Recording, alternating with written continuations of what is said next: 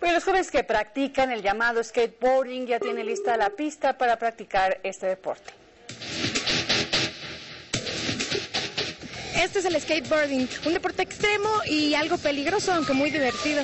Y nos encontramos en una de las pistas que se construyen precisamente para practicar este deporte aquí en la delegación Iztapalapa. Un estilo de vida, una forma de divertirse y para muchos una sana diversión que los aleja de los vicios. Llevo patinando este 10 años y este deporte pues que no es así como cualquier otro deporte, ¿no? Pero sí es muy, muy peligroso. Pues que es muy, muy bueno porque pues prácticamente el ocio ya uno no, no piensa en andar tomando, en las drogas, piensa en hacer deporte, ¿no? Y si tiene unos dos espacios, pues que mejor. La construcción de estas pistas para patinar surgió hace unos meses y los jóvenes las han aprovechado.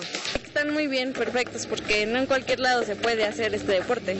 Está muy bien, debían, la verdad hacen muchas, así muy, muchas, muchas faltas este, varios skateparks porque sí hay varios chavillos que empiezan a patinar y pues hace falta más espacios.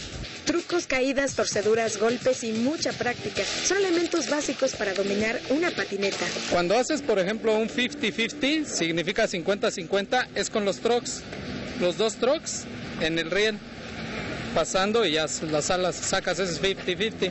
Un board slide en el riel es con la mitad de la tabla se desliza y la bajas ya sea de frente o de espaldas. Aunque algunas veces no es tan sencillo como parece.